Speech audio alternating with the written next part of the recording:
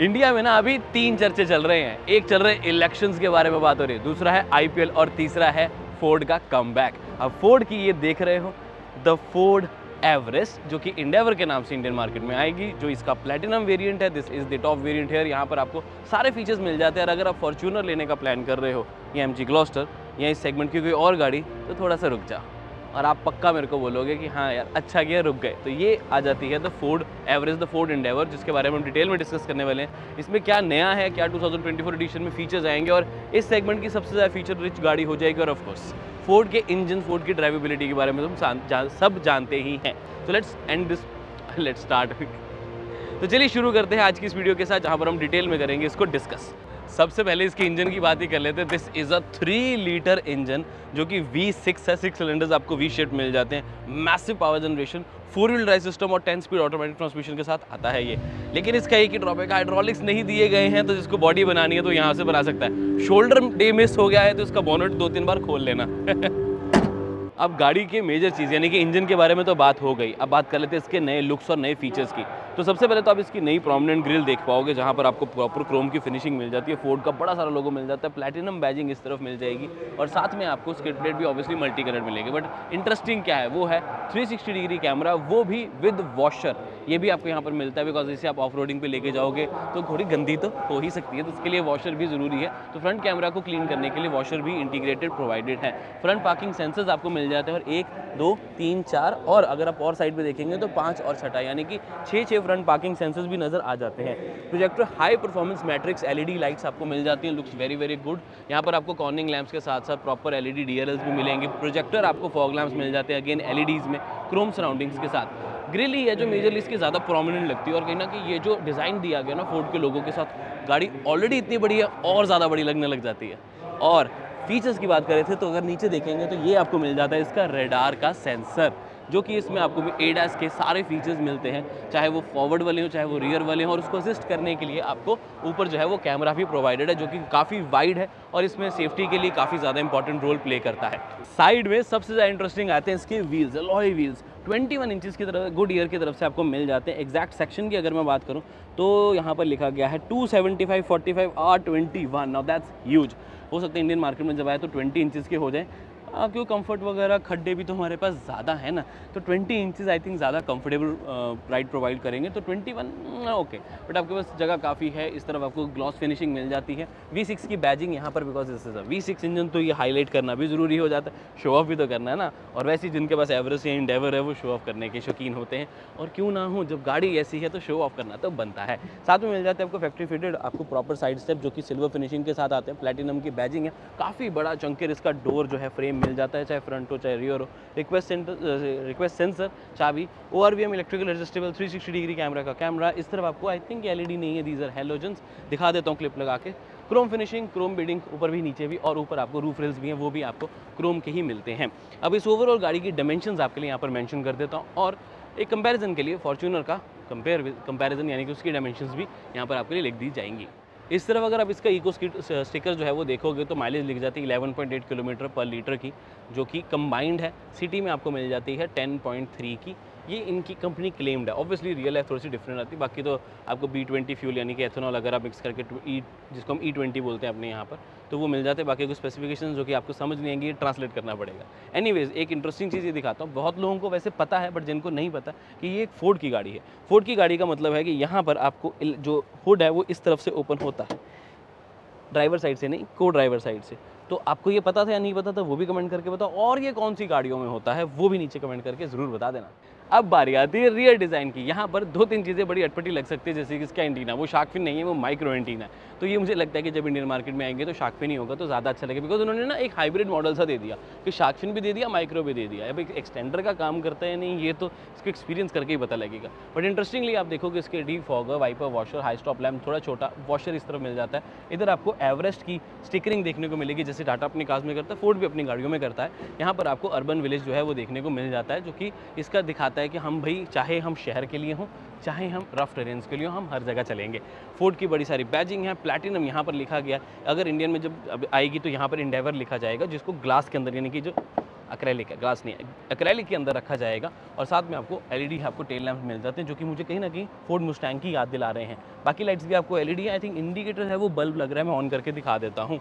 इसके साथ साथ थ्री सिक्सटी डिग्री कैमरा का रियर कैमरा ना भी हो, किसी और वेरियंट में आपको एज अ रियर कैमरे का काम करेगा। प्रॉपर आपको फिनिशिंग यहाँ मिल जाती है, जो कि आपको बचा के रखती है आपकी गाड़ी को आपके लगेज से।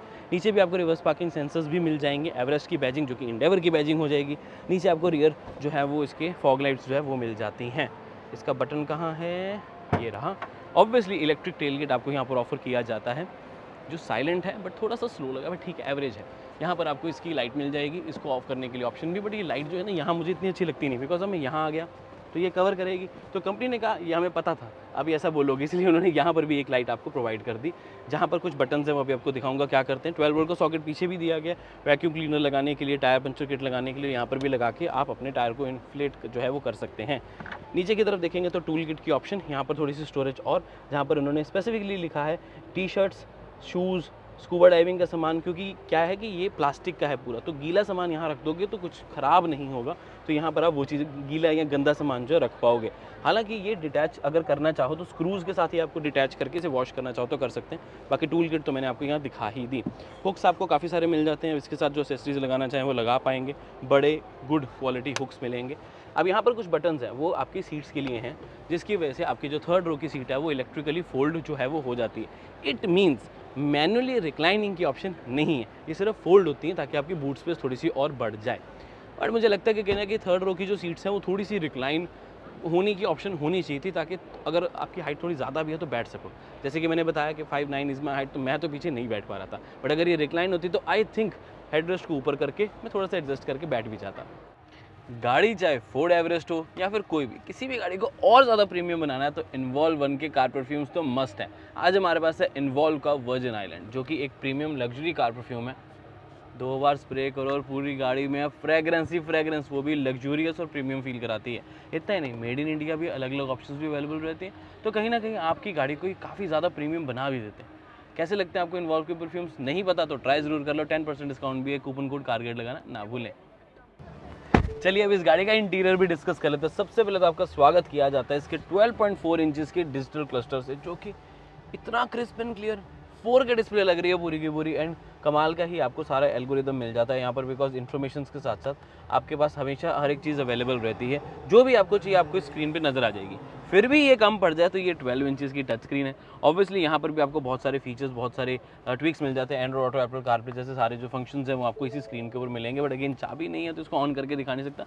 बट इसकी वीडियो हमारे पास एक है तो वो लगा देता हूँ। एनी इन्फॉर्मेशन के नाम पर यहाँ पर आपको एयरबैग्स की ऑप्शन जो है वो भी नज़र आ जाएगी। ये इसका स्पीकर है क्योंकि ट्वेल्व स्पीकर सिस्टम मिल जाते हैं। आई थिंक फोर्ड कंपनी को ना इसका ट्वेल्व नंबर बड़ा अच्छा लगा। स्क्रीन स्क्रीन ट्वेल्व यहाँ पर भी 12 के स्पीकर जो है आपको मिल जाते हैं ओवरऑल जिसका सब है, बाकी आपको ऑब्वियसली ऑल ओवर बॉडी पे देखने को मिलेगा। अब एक चीज़ बताऊँ जो इंडिया से डिफरेंट होगी। यहाँ पर तो आपको देखो सॉफ्ट टच मिल रहा है प्लेटिनम की बैजिंग है स्टिचिंग है। इस तरफ़ देखेंगे तो ऊपर वाली स्टोरेज मिल जाती है। इस तरफ़ लॉकेबल आपको इसका ग्लव बॉक्स है, वो नज़र आ जाएगा। और कप होल्डर जो है वो यहाँ पर नज़र आएगा, जो कि कूल रखा गया है, यानी कि इस एसी वेंट से आपकी ड्रिंक भी ठंडी रहेगी। बट इंटरेस्टिंग चीज़ ये है कि ये वाला इंटीरियर इंडिया में शायद नहीं आएगा। इंडिया में लेके आएँगे टैन या कैमल कलर का इंटीरियर जो कि ज़्यादा प्रीमियम लगेगा। ऑल ब्लैक में थोड़ा उतना क्लासी नहीं लग रहा ऑनेस्टली और उसके अलावा अगर मैं कहूँ फीचर्स आपको काफ़ी सिमिलर मिलेंगे। वायरलेस चार्जिंग पैड है, यहाँ पर storage space type C port भी है टाइप ए पोर्ट भी है कप होल्डर जो कि एडजस्टेबल होंगे। इस तरह का आपको गियर लेवर देखने को मिल जाएगी इलेक्ट्रिक पार्किंग ब्रेक के साथ साथ। फोर व्हील ड्राइव है तो obviously terrain mode traction control idle start stop parking assist भी यहाँ पर मिलता है, जिसमें ऑटोमेटिकली गाड़ी जो है वो पार्क भी कर लेती है आपके लिए। सारे फोर व्हील के ऑप्शन ड्राइव मोड्स के यहाँ पर देखने को मिलेंगे और फीचर्स वाइज में एसी के कंट्रोल्स यहाँ अब ये चीज़ मुझे पर्सनली बहुत अच्छी लगी कि स्क्रीन तो चलो बड़ी दी है इन्होंने बट उसके साथ साथ आपको प्रॉपर एसी के कंट्रोल्स के बटन्स मिलते हैं। तो बटन्स वाइज मैं खुश हूँ, ये नहीं किया कि सिर्फ़ स्क्रीन स्क्रीन से ऑपरेट करो। तो दैट्स अ गुड थिंग इसी इवेंट्स के पास भी आपको पियानो ब्लैक फिनिशिंग मिल जाए। थोड़ा ऊपर चलेंगे तो एडैस का जो कैमरा है वो काफ़ी बड़ा है वैसे तो यहाँ पर चंकियर है पूरा आगे का व्यू के लिए। बट हाँ यहाँ पर आपको आयर मिल जाता है जो कि अगेन ऑटोमेटिक ही रहेगा और हिडन टाइप रहेगा, इसका सेंसर ऊपर है। इस तरफ़ देखेंगे तो ऑफकोर्स आपको मिल जाते हैं इसका सन ग्लास होल्डर ऊपर की तरफ़ देखेंगे तो आपको एलईडी लाइट्स ऑफ़र की जाती हैं, जो कि स्पॉट लाइट आपको प्रोवाइड करते हैं। स्टेयर मोड कंट्रोल्स ऑब्वियसली जहाँ पर voice commands cruise control ADAS के फीचर्स लेफ़्ट साइड पे राइट साइड पे आपको म्यूज़िक कंट्रोल्स और नेविगेशन के, यानी कि जो इसकी स्क्रीन नेविगेशन के कंट्रोल्स हैं, वो नज़र आ जाते हैं। कॉल रिजेक्ट यहाँ से होगी कॉल एक्सेप्ट भी आई थिंक अच्छा ये रिजेक्ट यहाँ से एक्सेप्ट कहाँ से, वो भी शायद फिर यहीं से होगी, हालाँकि रिजेक्शन वाला बटन ही नज़र आ रहा है। ऑब्वियसली लेदर आपको यहाँ पर मिलेगा ही मिलेगा। तो क्वालिटी वाइज किस तरह कोई कॉम्प्रोमाइज़ नहीं यहाँ पर किया जाने वाला है। इंटरेस्टिंग आते हैं बाकी फीचर्स जैसे कि ये सीट्स हीटेड तो कंफर्म नहीं है बट वेंटिलेटर तो डेफिनेटली होंगे। ड्राइवर की सीट तो इलेक्ट्रिक है ही है। को ड्राइवर की सीट भी आप इलेक्ट्रिक एडजस्ट कर सकते हैं। और जिन लोगों को चाहिए होती है, एक सन रूफ तो वो भी आपको यहाँ पर प्रोवाइडेड है। और वो भी आपको, अभी है भी नहीं है ना हमारे पास, नहीं तो आपको सनरूफ भी ओपन करके दिखा देते। सनरूफ ओपन यहाँ तक ही होती है ज़्यादा बड़ी नहीं होती बट हाँ ग्लास का पैनल ओवरऑल काफ़ी बड़ा आपको मिल जाता है। One of the biggest storage in the armrest काफ़ी ज़्यादा स्पेस आपको यहाँ पर मिल जाती है काफ़ी आप दिनों का सामान मैं कहता रख सकता हूँ यहाँ खाने पीने का। ट्वेल्व वोल्ट का सॉकेट भी है, चाबी भी यहीं से चार्ज हो जाएगी, पूरी पूरी की की जगह बनाए रखी है। और हाँ सामान भी आपको काफ़ी बट हाँ ध्यान रखिए ये कूल्ड नहीं है, ठीक है? चलो इसको बंद करते हैं। एडजस्टेबल तो नहीं है आमरेस बट ज़रूरत नहीं है because it's very well position I believe काफ़ी सही से रखी जाती है। फ़ोन रखने की जगह आपको यहाँ पर आगे मिल जाएगी। और एक इंटरेस्टिंग चीज़ ये लग रही है, जो सीट्स के ऊपर बैजिंग है प्लेटिनम की, वो मुझे काफ़ी अच्छी लगी। एक प्लेटिनम वाली फील भी ले आ जाती आ जाती है। लेदर फिनिशिंग स्टिचिंग सब सब कुछ आपको इस फोर्ड एवरेस्ट में मिल जाता है। सेफ्टी की बात करें तो ऑब्वियसली बेसिक सेफ्टी फीचर्स तो सारे मिलेंगे ही मिलेंगे। जो एक्स्ट्रा फीचर्स होते हैं वो हो जाते हैं इसके ए डैस के multiple safety level features nine air bags in the top variant seven air bags इस वेरिएंट में हैं, जब इंडियन मार्केट में आएगी तो उसमें 99 परसेंट चांसेज हैं कि आपको नाइन एयर बैग्स मिलेंगे। सेवन नहीं होने चाहिए, वैसे जिस सेगमेंट में ये चली जाती है। बताना चाहूँगा, इस गाड़ी में आपको एम्बियन लाइट भी ऑफ़र की जाती है। थोड़ी सी यहाँ पर नज़र आ रही है और साइड पे डोर पे आगे भी है। है ज़्यादा बट अगेन काफ़ी ज़्यादा लाइट्स रहती है ना तो उतना कैमरे पे शायद नज़र ना आए। बाकी यहाँ पर इंटरेस्टिंग चीज़ें ऑब्वियसली ओआरवीएम के सारे कंट्रोल्स उसको बंद करने के लिए ओपन करने के लिए। मेमोरी फ़ंक्शन के लिए आपको यहाँ पर तीनों बटन मिल जाते हैं one two three with lock and unlock यानी कि सेंटर लॉकिंग पावर विंडोज़ इस तरफ़, और इंटरेस्टिंग है, इसका ये डोर हैंडल ये थोड़ा अंदर इंटीग्रेट किया गया, बाहर नहीं है तो अच्छा लगता है। वुडन ट्रीटमेंट आपको यहाँ मिल जाएगा लुक्स कूल और ये हिडन ट्रीटमेंट से आपको डोर हैंडल नज़र आ जाएगा। शायद ना आए नज़र, वैसे क्योंकि हिडन रखा गया यहाँ पर आपको मिलेगा ऑब्वियसली इसकी इलेक्ट्रिकल एडजस्टेबल सीट जो कि one two three four five six and seven eight तो आपको मिल जाता है lumbar support height adjustment sliding and recline electrically steering obviously आपको टिल्ट एंड टेलीस्कोपिक दोनों ही मिलेंगे। एवरेज है यार, कैसी बात कर रहा हूँ मैं? रियर सीट्स ऑफ़ द इन काफ़ी सारे फ़ंक्शन फीचर्स मिल जाते हैं। इंटरेस्टिंग ये रहता है कि पिछली सीट्स भी आपको हीटेड वेंटिलेटेड ये मिलती हैं। इंडियन मार्केट में सिर्फ़ वेंटिलेटेड होंगी हीटेड नहीं होंगी।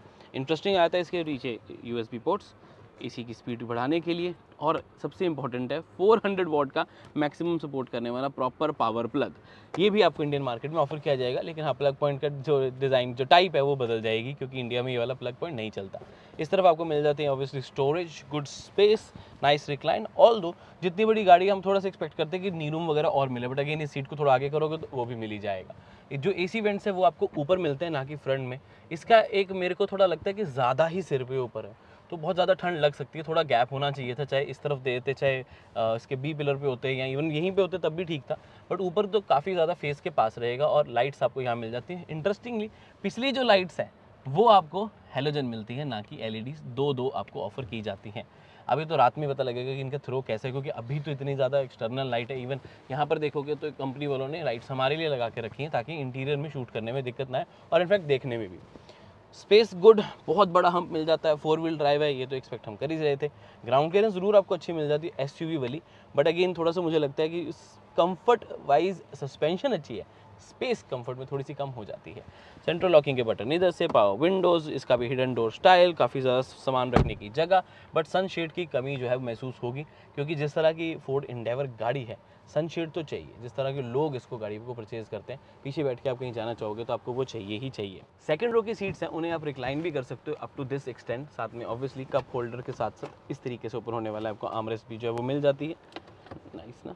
इसको इस तरीके से आप खोल सकते हैं। बंद करना चाहें तो कुछ इस तरीके से कर पाएँगे। और रिलैक्स करना चाहें तो एडजस्टेबल हेडरेस्ट तो आपको मिलते ही हैं तीनों पैसेंजर्स के लिए। थर्ड रो में जाना कितना आसान, कितना मुश्किल let's just check it out इस तरीके से आप इसको पूरा स्लाइड कर सकते हो।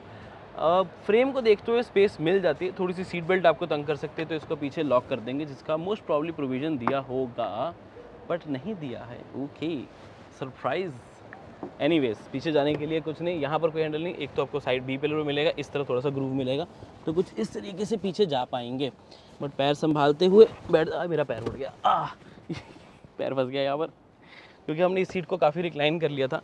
तो जवाब ये है कि आप देख सकते हैं कि नी कितने ज़्यादा मेरा आगे तक आ रहा है। ये सीट हालाँकि रिक्लाइंड है, इसको हम थोड़ा सा सीधा करते हैं। फोल्ड नहीं पूरा करेंगे। This is the normal recline but वही again my height is five nine तो मैं तो थर्ड रो में नहीं बैठ सकता। अगर बैठना चाहूँ ज़बरदस्ती तो कुछ ऐसे स्लाइड करके बैठना पड़ेगा और थोड़ा टेढ़ा बैठना पड़ेगा। बट अगेन काफ़ी अनकम्फर्टेबल हो जाएगा। अगर दो लोग भी बैठते हैं तो ये वाली जो सीट्स हैं, वो बच्चों के लिए ही हैं। अडल्ट तो यहाँ नहीं बैठ पाएँगे। बट फीचर्स क्या मिलते हैं? लाइट हेलोजन एसी वेंट्स ऊपर की तरफ़, इस तरफ़ आपको हुक्स मिल जाते हैं। क्यों मिलते हैं, ये मुझे नहीं पता बिकॉज़ जिस तरह का ये हुक है, किसी स्पेशल चीज़ के लिए रखा गया। मोस्ट प्रॉबली ये वाली सीट्स को फोल्ड करके अगर आप कुछ हैंग करके इसको क्लोज करना चाहते होंगे नेट वगैरह लगा के तो में भी हो सकता है। अगर आपको पता है ये हुक्स किस चीज़ के नीचे कमेंट करके बताएँ, अगर अगर रेगुलर हुक्स हैं तो फिर वो भी ठीक है, क्योंकि एक हुक इधर, एक एक उधर, दोनों दिए गए हैं। ओके 12 वोल्ट का सॉकेट है कप होल्डर है यूएसबी पोर्ट नहीं है। इधर 12 वोल्ट का सॉकेट नहीं है, इधर सिर्फ़ और सिर्फ़ आपको मिल जाता है इसका कप होल्डर और क्या है? स्पीकर सिस्टम ऑब्वियसली पीछे तक एयर बैग्स इसमें पीछे तक नहीं आते। बट अगेन इंडियन वेरियंट में अगर नाइन एयर बैग्स होंगे तो पीछे तक आएँगे ही आएँगे। इसमें आपको सेवन मिलते हैं, जैसे कि सिक्स तो आप समझते हो और सेवन्थ मिलता है नी के लिए। अब एक इंटरेस्टिंग चीज़ बताता हूँ। अब एक प्रॉपर एक होते हैं ग्रैब हैंडल्स जैसे हम बी पिलर पे देखते हैं या गाड़ी में बैठते समय इनको पकड़ते हैं। अब इन्होंने थर्ड रो में आने के लिए ग्रैब हैंडल नहीं दिया, सिर्फ़ एक ग्रूव दिया है जो कि साइड पे यहाँ पर दिया है। तो उसमें क्या अंदर आने के लिए तो ग्रिप बन गई। लेकिन बाहर जाने के लिए ग्रिप बनेगी ही नहीं, वो डिज़ाइन ही उस तरीके से किया गया तो बाहर आने के लिए मेरे पास ग्रिप करने के लिए तो कुछ भी नहीं है। सीट को ही ज़बरदस्ती पुश करूँगा, इधर भी कुछ नहीं है। तो दिक्कत आएगी थोड़ी सी स्लाइड कर करके। अब देखो, इसको भी नहीं पकड़ सकता, क्योंकि ये फिर पीछे आ जाएगी। कुछ पकड़ने को है ही नहीं। तो कुछ इस तरीके से बाहर निकलना पड़ता है। तो मुश्किल तो हो जाता तो अगेन वही अडल्ट नहीं बैठ सकते, इस चीज़ का ध्यान ज़रूर रख लेना। अब आता है major question the price and the launch see the thing is Ford India में वापस तो आ रहा है, ये तो कंफर्म है। लेकिन सीन ऐसा है कि वो कब आता है और किस प्रोडक्ट के साथ आता है। तो जितना मेरा मानना है, ये वाले प्रोडक्ट्स नहीं। वो आएँगे न्यू एज व्हीकल्स यानी कि इलेक्ट्रिक हो सकते हैं प्लग इन हाइब्रिड हो सकते हैं। वो डिपेंड करता है कि किस कंपनी के साथ वो कोलैबोरेट करके आते हैं बिकॉज़ अकेले तो नहीं आएँगे। कोलैबोरेशन के साथ ही आएँगे। दूसरा, मुझे ये लगता है कि फोर्ड जो है, उसको बहुत जल्दी चलेगी इंडिया से। जानी नहीं चाहिए थी। हाँ वो बीच की एक ब्रेक ले सकते थे, इन्होंने थोड़ी लंबी ब्रेक ले ली बट कोई बात नहीं, क्या कर सकते हैं। अब यहाँ पर अगर फोर्ड अपने एग्जिस्टिंग प्रोडक्ट्स यानी कि इको स्पोर्ट को थोड़ा सा फेस लिफ्ट करता एस्पायर को फेस लिफ्ट करता तो अच्छा इंडिया में चल सकता था। उन थोड़ा लेट लेट अपडेट किया उसकी वजह से काफ़ी ह्यूज लॉसेज हो गए। एंड आई विश फ़ूड अपने नए प्रोडक्ट्स और बेटर प्रोडक्ट्स के साथ इंडियन मार्केट में जल्दी आए। प्राइसिंग अगेन वही। वही फॉर्चूनर वाले लेवल की बट जब ये लॉन्च होती है, उस हिसाब से उसकी प्राइसिंग तब जो फॉर्चूनर का प्राइस है, उस हिसाब से इसकी प्राइस रहेगी। बट अगेन तब तक फॉर्चूनर भी अपडेट हो जाएगी। तब उसमें भी ADAS three sixty camera बड़ी सनरूफ ये सब आपको मिलेगा ही मिलेगा। तब होगा इसका मेजर कॉम्पिटिशन महामुकाबला जिसे हम बोलते हैं। So this was the Ford Everest the Ford Endeavour उम्मीद है वीडियो आपको अच्छी लगी होगी। इस तरह की हमने और भी गाड़ियों की वीडियोस बनाई हैं जो इंडियन मार्केट में लॉन्च होने वाली हैं या हो सकते हैं तो उनको चेकआउट करना ना भूलें। मैं मिलता हूँ आपसे अगली वीडियो में। Until then drive safe take care love you guys bye bye